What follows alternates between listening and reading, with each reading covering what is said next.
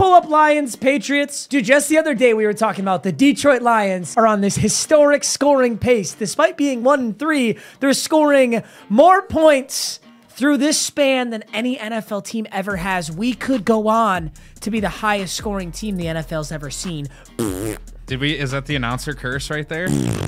Is that what happened? Sag. No, it's the fucking Detroit Poverty Lions curse. I'll tell you something about the Detroit Lions. When everybody's sucking Dan Campbell's cock and talking about hard knocks football and how the Detroit Lions are doing something, I tweeted out this. I said, oh my God, the media is so fucking brainwashed. They actually believe that the Lions are good.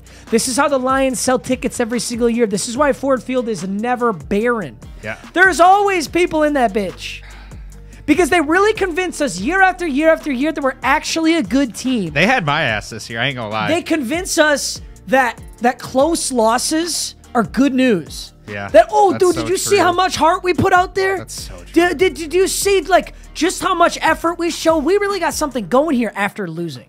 Yeah. Like somehow losing by a little bit is okay to lose. We are one and four. The New York Giants are four and one.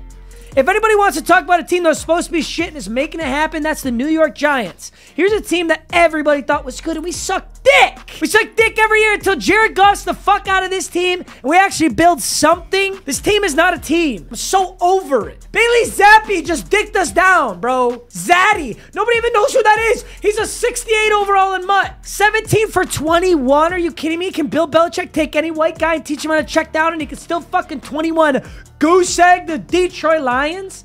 I'm so over it. Rhamondre Stevenson rushed for Yeah. 161 yards. Ran all over. Was that us. Prime Bo Jackson? No, it's fucking Rhamondre Stevenson. Oh my God, you could have. Bailey Zappe did more than our whole fucking team did on the ground. Jakobi Meyers, 7 for 111. Oh my God. Yeah, the Lions over like the last, I don't know, just forever since we've been born have just been training how to brainwash us into thinking they're going to be good every year. And we get so pumped, Never fall for get rock hard every preseason.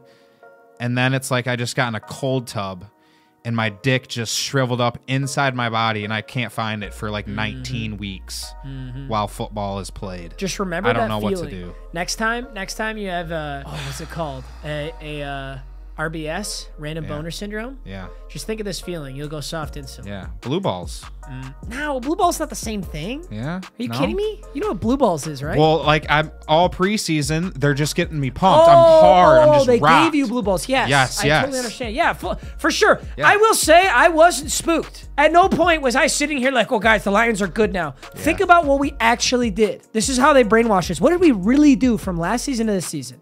Okay, personnel changes. We got Dan Campbell in there now. Mm-hmm. We still have Jared Goff. Aiden We, Hutch. we is drafted like, some players. Yeah, what are they? What are they going to turn the whole fucking team Right. around? Yeah. like we really didn't do anything. We were a horrible team last year. We're still a horrible team. I don't care how many games we win. I think we max win six. And until Jared Goff gets out of here, we unload Jared Goff's contract. We draft the franchise QB, and then we use money in free agency to actually build a nasty team. Until that happens, I don't want to talk think, about it. You think that's the biggest thing is just Goff? Pretty much The bottom biggest- line is okay, Goff. Jared Goff is legitimately, if like I'm not being a dick, a mid-tier NFL quarterback. Yeah. The problem is the Detroit Lions and everybody in the organization know that Jared Goff is not our franchise QB.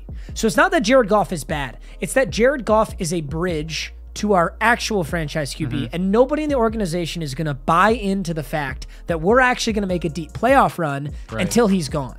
So it's basically like, okay, let's weather the storm. Let's weather the storm. No one's like, this is our year. This is the year that we're going to win it all because we've got all these pieces. It's like, okay, Jared Goff's eating up about a whole fucking lot of million dollars in our salary mm-hmm. right now. Yep. So let's just play the waiting game, keep the fans entertained, sell some tickets and some jerseys here and there until Jared Goff's gone.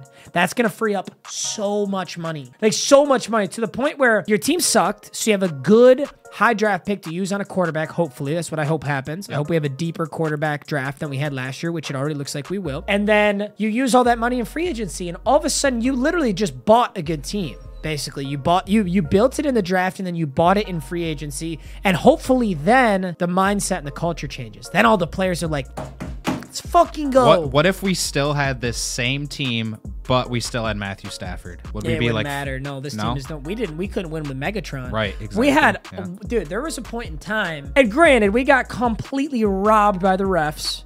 This game, this one, there's the most blatant PI I've ever seen. The refs didn't call it, but I'm not going to say it's the refs' fault. We had an insane team. Uh, uh Stephen Tulloch, Ndamukong Suh in his prime, one of the best defensive tackles of all time. He's nasty. Megatron, a top two wide receiver all time in his prime.